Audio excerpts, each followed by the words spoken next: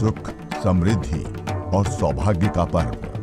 कुबेर, धनवंतरी, माँ लक्ष्मी पूजन से सद्भाग्य का पर्व। धनतेरस के मंगलमय अवसर पर सभी देशवासियों को आस्था परिवार की शुभ बधाइयाँ।